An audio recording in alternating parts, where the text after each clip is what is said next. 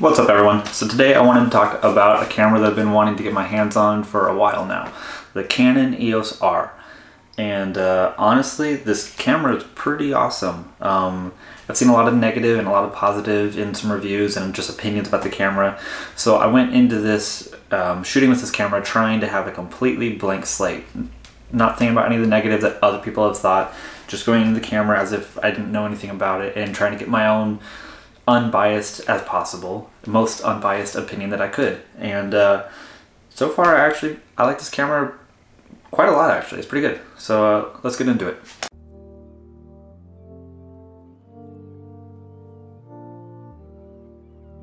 So I want to let you know that this review is only going to be just about the camera body itself. I'm going to do a separate video about the kit lens that comes with the 24 to 105 f4. Um, there's a lot I can say about this lens. I figured it'd just be best if I can make a whole separate video just about this one, give my opinion on this. But uh, that being said, just the EOS R body. And let's talk about the body itself.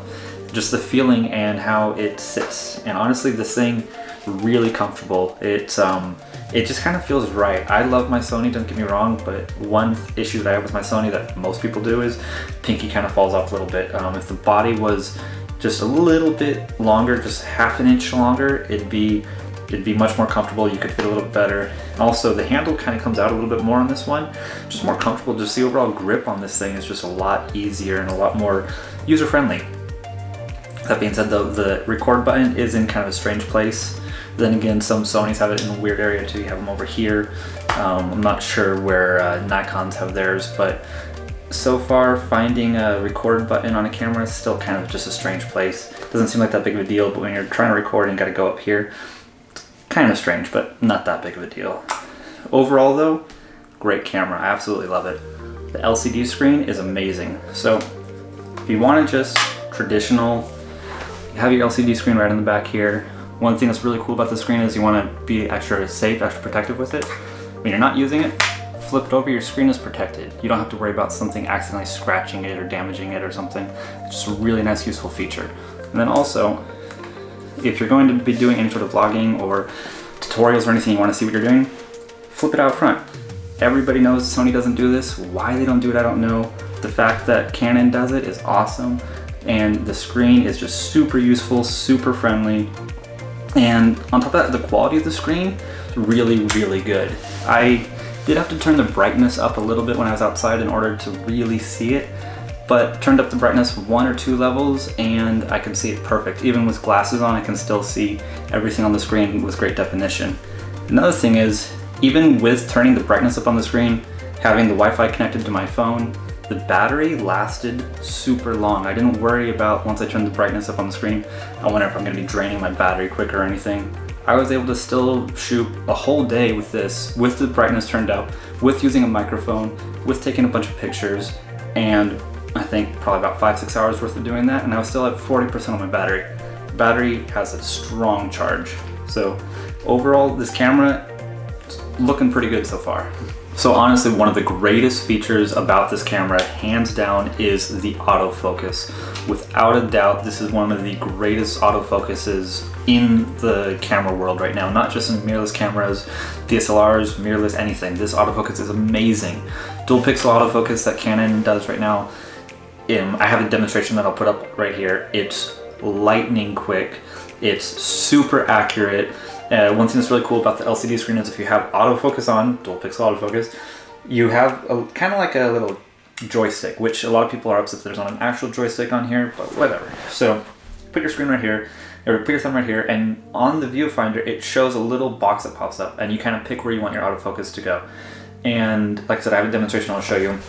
On my face right now, on the wall behind me, back to my face, wall, face, you can pick something here and then pick something behind it right next right next to it, but behind it, way far off, and it's gonna catch it insanely quick. And it's just really, really convenient to be able to select so, so easily what you want your autofocus to be on. And it's really, really accurate too. Um, try focusing by hand, especially that quick, you're not gonna get it on. Now, if you are going to be focusing by hand, one thing that they have on this camera that I'm used to coming from the Sony world that I know a lot of other cameras don't have is peaking, which to me, if I, I do a lot of focusing by hand, I can't imagine doing any sort of focusing without peaking. It just makes it so much easier, so much more user-friendly, showing you exactly what is in focus. With that being said though, Sony's have three modes that you can choose on peaking. You can choose low, medium, or high. High seems too high for it, low is too low, and medium is just perfect. On this one, you have low and high. And it's kind of the same thing. Low is a little too low, and high is a little too high. It would be nice if there was a third setting on here, a third peaking level, just nice middle, nice medium. When you have it on high, it kind of looks like everything's in focus. You take the picture, you take the photo, you take a video, whatever, and then you look back and you realize, no, it was only one thing in focus, but it's hard to show in the peaking what is in focus. Low, same thing. It, you only get a couple little dots that come up and you can't really quite tell exactly where your focus is. Um, it's nice that they got peaking, but it would be nice if they had a medium setting for the peaking. So like I said, I tried going into this review forgetting about what other what, what other people's opinions were on some of the negative sides of this camera. And one of the things that I tried to forget about and I tried to figure, you know what, I'm gonna use it, to see what I think, is the touch bar, the track bar. And I thought, you know, that might be a cool feature. It's kind of, it's basically like another wheel. I tried it, I, I don't like it. I understand why everybody else in every review, every article, everything I've seen doesn't like it either. Um, I put my ISO on here originally, and if you, there's two settings you can do, where one where you hold it and then you got to do it, which kind of defeats the purpose of having a quick, uh, user-friendly setting, or you can just tap it. But if you just tap it, you can do that very easily by accident, bump your ISO up, bump your ISO down, or whatever other setting you have on there.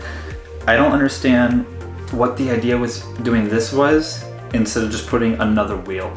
You put another wheel here, you can still customize it, still decide if you want ISO or shutter speed or white balance or whatever you want there. This touch bar, it's a cool idea to try and do something new, but I just didn't find it very useful. I used it the first day I had this camera. I tried to use it, I forced myself to use it. I don't like it, I stopped using it altogether, set my ISO somewhere different, and yeah, the touch bar, it does nothing for the camera. So the viewfinder on this camera is amazing. Um, not only is it ridiculously bright, really clear, it's huge. You put your eye up to it. You know, most cameras you gotta kind of like, kind of gotta shove it into your eye that way you can really see it.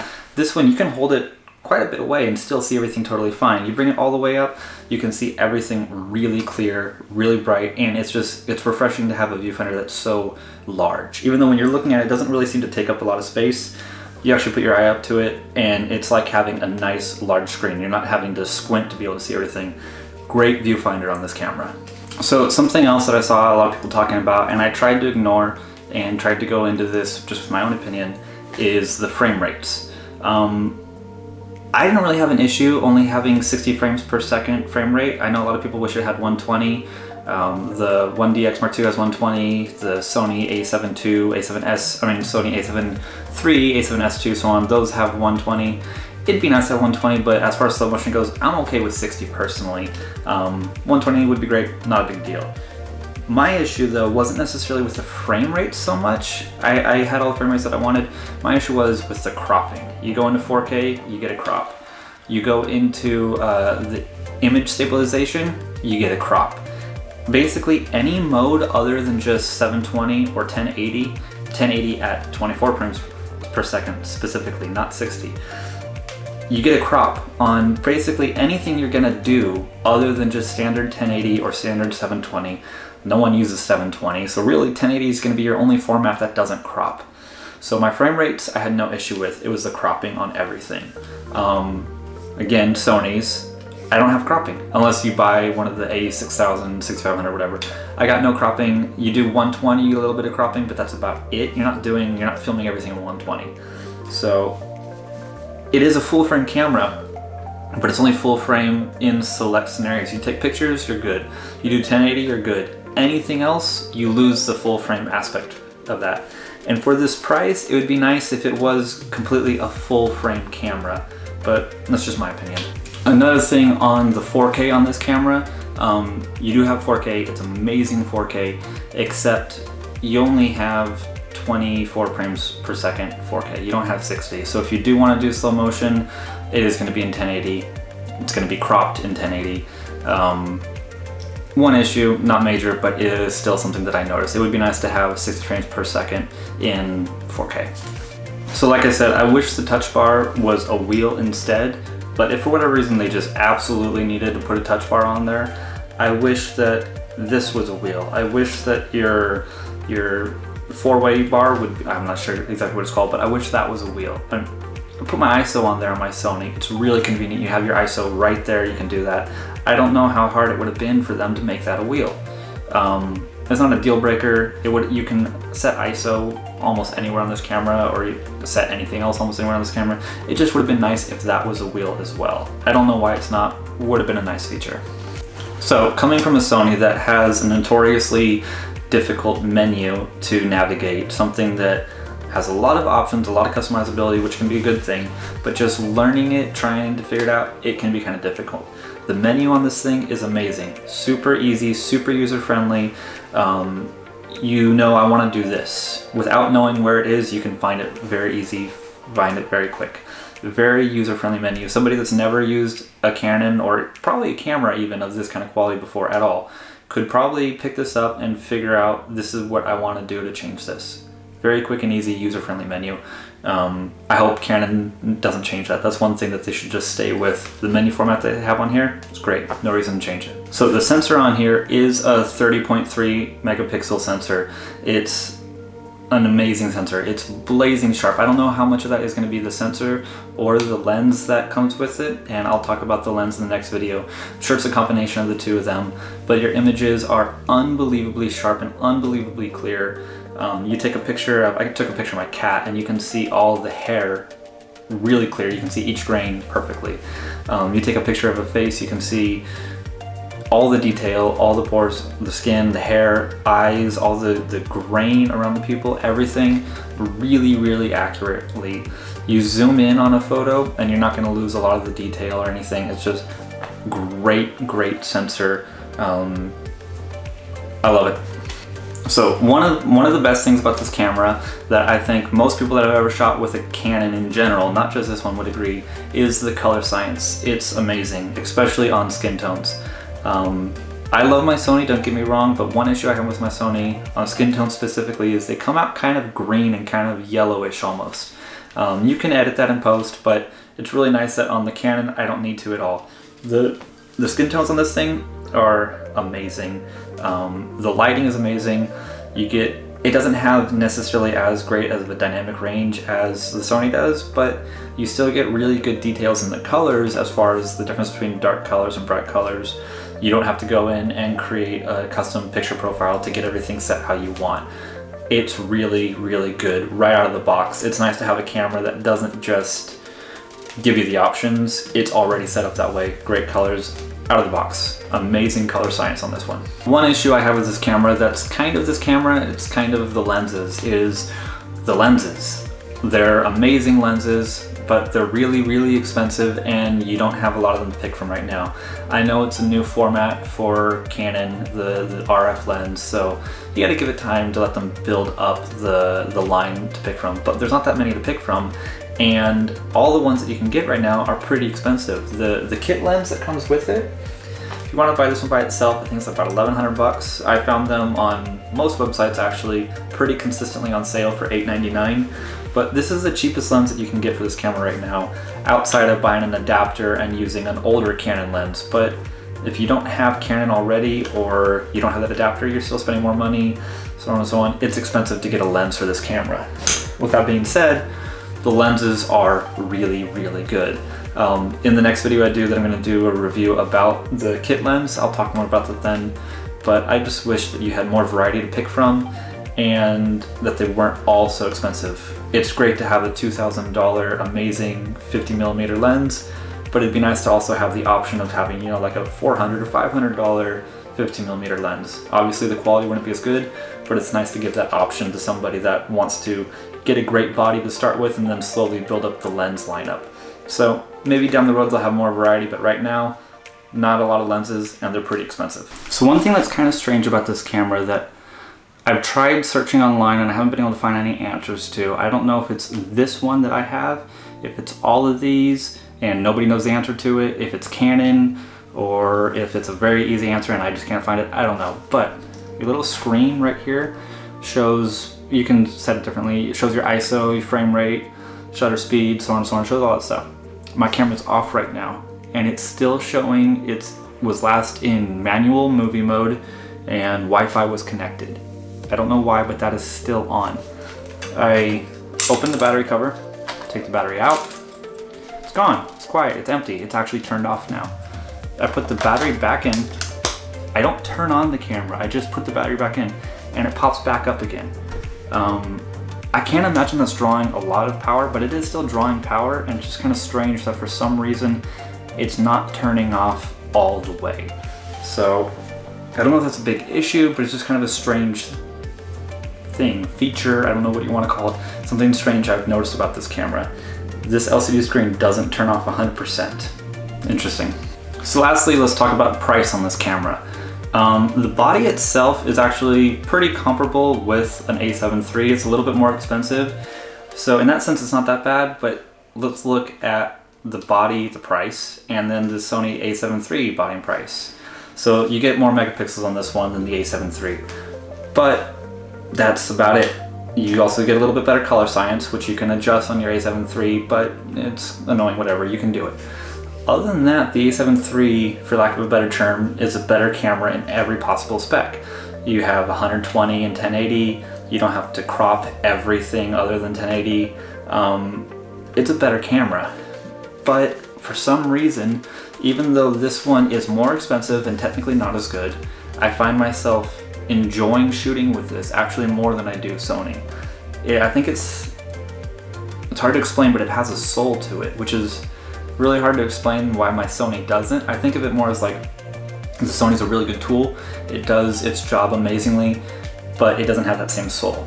This one, just the way it sits in your hands, the way it feels, the way everything comes right out of the box, it's just really, really fun to shoot with. I find myself wanting to go out randomly out of nowhere and go take pictures more often with this one than I do with my Sony. So spec-wise, yes, it's not as good as a Sony that's cheaper. But there's something about it that you can't explain that I really, really like this camera and I kind of want to get one of these myself now. So we'll see about that, but it's a great camera. Who is this camera for though? Honestly, I don't think this is the kind of camera that you would be doing music videos for, documentaries for, or definitely not weddings considering you only have one card slot, which again, the Sony, cheaper, has two card slots. But whatever. This camera I think is for a photographer, it's an amazing camera, or somebody that wants to do specifically YouTube videos, vlogging, tutorials, travel videos, it's not going to be as big as the 1DX Mark II, so it's a lot more friendly for that. And you have a lot of really, really good features. So the video is a little limited, but overall I think it's a great camera for doing YouTube videos. I wouldn't recommend it for doing music videos, documentaries, or other things, but YouTube, great camera. Photographers, great camera. I think it's actually a better camera for photographers than a Sony, but it's an overall really good camera. It's just kind of expensive and maybe in the next iteration they're going to change some things, get rid of the touch bar, add another wheel, but time will tell, we'll see. Overall, great camera, and if you're thinking about picking one up, do what I did, rent one for the weekend, see what you think, but probably gonna like it. I think it's a great camera, probably gonna get one. So uh, if you like this video, hit like, hit subscribe. I'm trying to hit 500 subscribers right now, you can help me get there and uh, let me know what you want to see in some future videos. I'm to be doing some reviews about other things, more tutorials, and doing a little bit more traveling kind of stuff as well. So uh, have a good one.